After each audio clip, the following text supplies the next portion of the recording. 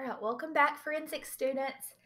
Previously, in a previous lesson, I introduced forensic anthropology, and we discussed the fact that when skeletal remains are found, investigators treat the area as an active crime scene. So they're going to secure the scene, they're going to process the scene, but they might call in the help of a forensic specialist specifically a forensic anthropologist, to assist in determining the identity of the person whose skeletal remains were found. So, we walk through just an overview of forensic anthropology, and I told you that in the next few lessons, we would take a deep dive into some specific parts of the skeleton that might provide clues to investigators. So, what we're looking at today is the human skull specifically, and what the skull can tell anthropologists about a person and how they might have lived, and uh, even better, how they might have died.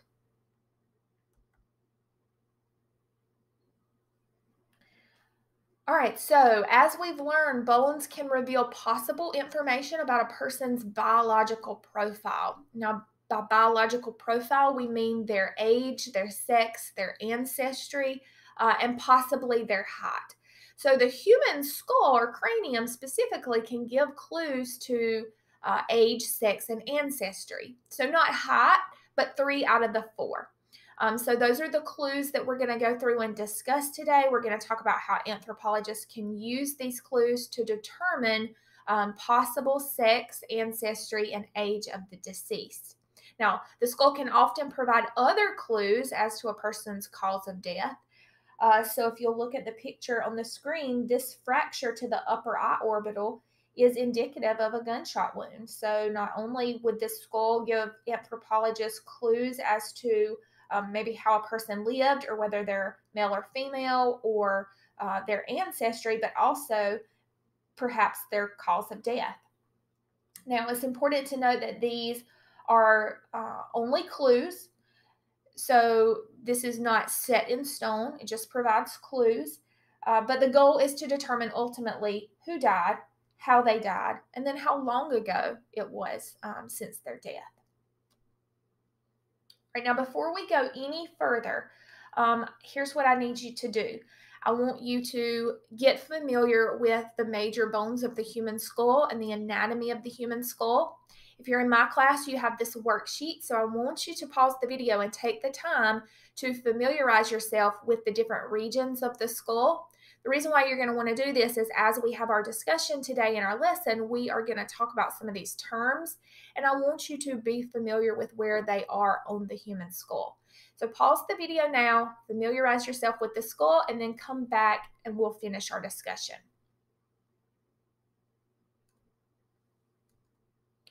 Now, our forensic anthropologist can read the evidence in a skeleton very similar to the way we can read a book.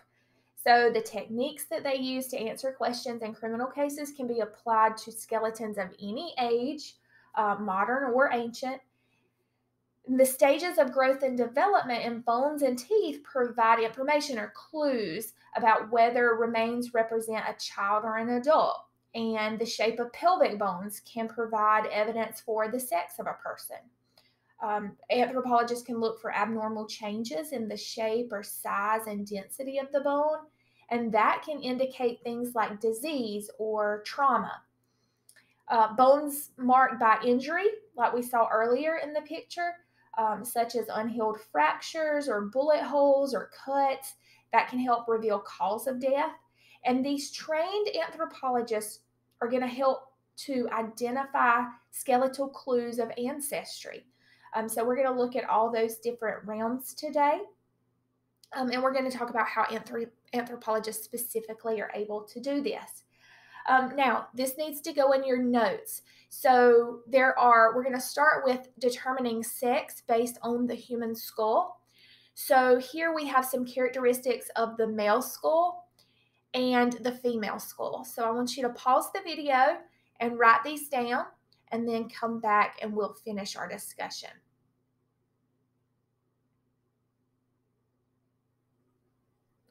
All right, now there are quite a few differences between the male skull and the female skull.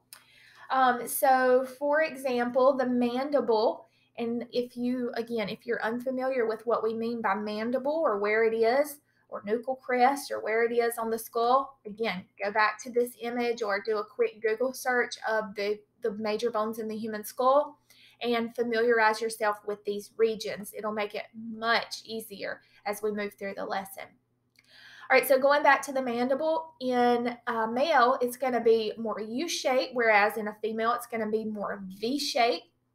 Eye orbitals are also different in male versus female skull. So the eye orbital is going to be more square for the male, more round for the female. And then there's some other differences that we're going to go through and discuss um, throughout the lesson. Now, I do want to show you an example. Let's talk about the brow ridges for a second. Um, so above the eye orbital, you have the brow ridges, and they are very underdeveloped um, or gracile for a female. They, they look very petite versus the brow bones of a male skull. They're going to be more developed brow ridges.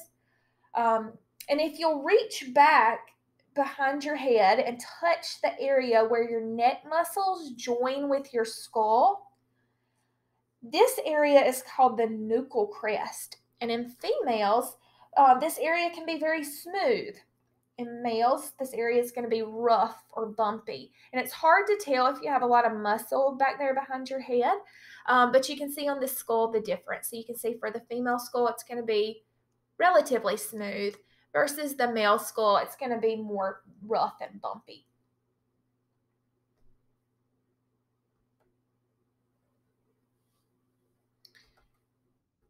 This is also some information that you need to make sure that you get into your notes. So the skull can also be used to determine approximate age, um, not a guaranteed age, not a um, not an exact age. It's an approximation. Uh, so investigators or anthropologists use these clues to help determine approximate age. Um, and by clues, we mean the cranial sutures. So the cranial sutures um, are joints. They're made of strong fibrous tissues. They hold the skull together. Now, during infancy, they remain flexible, and that allows the brain to grow. But over time, they fuse together. So, by about age 30, the suture at the back of the skull closes. By about age 32, the suture running across the top of the skull, the one going back to front, closes. You can see that in the image here. And then by about age 50, the suture running side to side over the top of the skull um, near the front closes. So those clues are important to determining approximate age of a person whose skeletal remains are found. Here's an example of a comparison between a 20 year old skull. So the skull on the left is a 20 year old skull, and then the skull on the right is from a 70 year old person. Um, and you can see the difference in the cranial sutures there. So the 70 year old person, um, those sutures have fused. And then you can see the sutures um, are very distinct on the, on the skull of a 20 year old.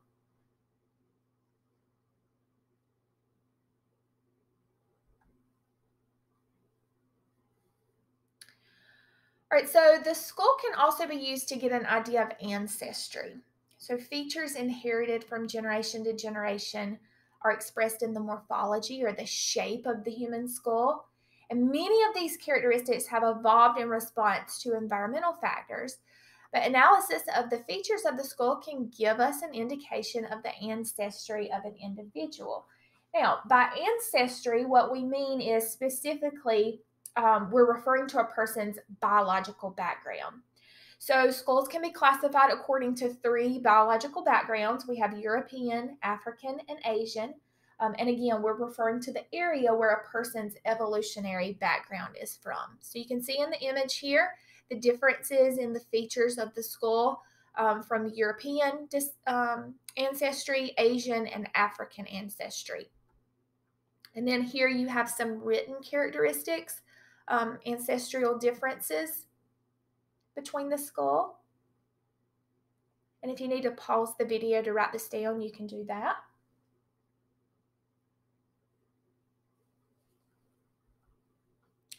All right, let's talk about teeth just a second. So teeth are often found attached to the mandible of a skull, and teeth can provide quite a few clues for anthropologists. Uh, for example, diet hygiene and age. Um, those are all often determined uh, by observing teeth.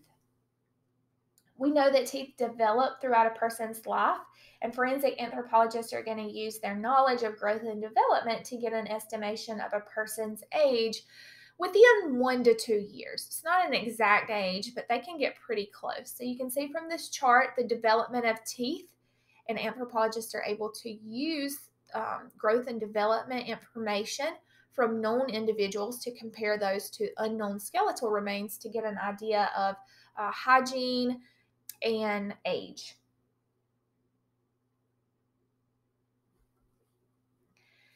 Now, also, the skull can give clues as to cause of death. So, we know the skull can give information about age, possible hygiene, um, ancestry, sex, but it can also help us to determine um, cause of death.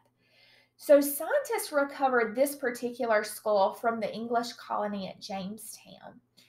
And this skull dates back to 1609 uh, and if you'll remember from history, this is during the time when settlers of the first English colony in America were basically starving. So, this skull shows markings that indicate that this person, who anthropologists later discovered was a young female, was killed and eaten. So, these marks that you see, these four um, chop marks, they are chops that were made to her skull in an attempt to get her brain. So anthropologists were able to determine that um, this young lady was dead. And then the chops were made to her skull. So that is an indication that they were trying to get to her brain so that they could eat it. Um, so it had been speculated that um, the colonists at Jamestown during this time of starvation, they resorted to cannibalism. And this is proof um, proof that that happened, which is very interesting. So, if you have some time, I highly recommend you um, do some research over uh, the English colony at Jamestown. All right, so tools and technology.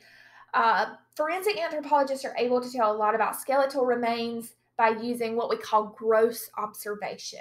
So that's what they can see with their eyes but they'll often use tools that allow them to see deeper into the bone. And that's what you see here on the screen.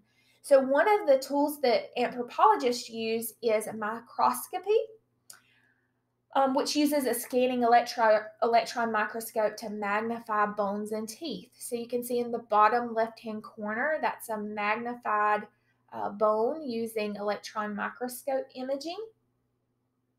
Now, another tool that anthropologists use are x-rays.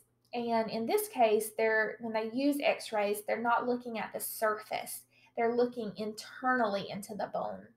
So this can give a better insight into dental development and bone density. Both help determine age um, or even health. Now, if you look at this middle picture, not only can uh, x-ray be used to determine bone density and development. But here, um, we're able to see that there is a bullet lodged in the skull. Um, and so that can help give a clue as to cause of death. Now, another technology that's used is CT or CAT scanning. Um, this allows scientists to look inside burial containers, even like a coffin. Um, so you can see that here.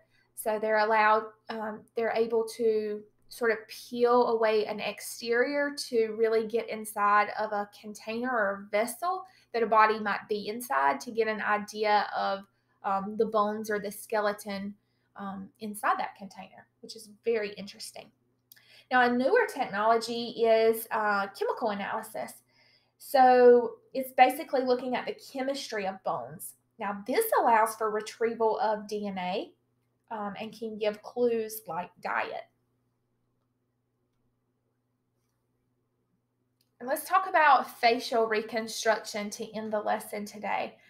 So, facial reconstruction can determine what a person looked like when they were alive. So, anthropologists are able to take the skull, doesn't even have to be a whole skull, um, and they're able to uh, reconstruct the face to determine what a person may have looked like when they were living.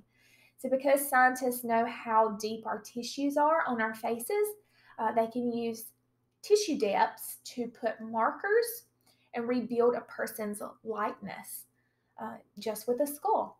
So, this is dependent upon uh, sex, ancestry, and age, but can aid in developing a replica, like you see here, of an unidentified skull. Now, earlier I showed you the picture of the skull from the victim at Jamestown. They were able to use facial reconstruction. So you can see here in the picture um, the, the skeletal remains that were found. You can see some teeth in the picture. You can see some parts of the skull. They were able to reconstruct that skull well enough that they were able to use facial reconstruction to get a mock up of what this young lady looked like uh, prior to her death. Just so interesting. Um, if you want to research this further, if you'll go to the National Museum of Natural History, there's a video there called Bringing Jane to Life. It is very interesting how they were able to take bones and then develop this mock image of Jane. Uh, so I've got a web address here if you want to do some more digging into this case. Highly, highly recommend you do that before you you um, watch the next video where we're going to be talking about the pelvic bone.